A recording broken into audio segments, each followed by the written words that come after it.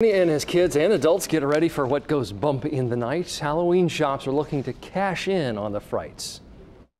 Oh, that's the doctor, but I'm the nurse of Dr. Shots. I'm a vampiric flapper. She's gonna be a rag doll. With one day left to go, just about everyone knows what they're going to be for Halloween. I'm gonna be a go-go dancer. Nine-year-old Daniela Smith is hoping to use her go-go costume again soon. My school's having a play, and we have to be um, peoples from the 60s, 70s, 80s, and I'm gonna be from the 60s, so I have to dress in this outfit. And I was just thinking I could be this for Halloween too. While the National Retail Federation expects Halloween sales to be down about a billion dollars this year, the spooky economy isn't scaring away every customer.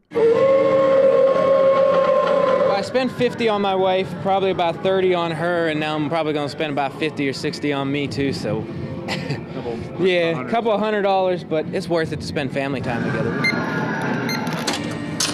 And that's good news for costume shop employees. Uh, this is my first year working here, but I've wanted to work at a Halloween store for years because this is my favorite holiday. Kendra Parker got this temporary job after being unemployed for almost a year. In fact, her last job was in this same location when it was a Goody's clothing store. It was really strange coming back here and it looking like this. But when tomorrow comes along, the state of the economy will be the last thing on these kids' minds. I like getting candy. You ready to go trick or treating, huh? Mm-hmm. Get some candy, lots of it, huh?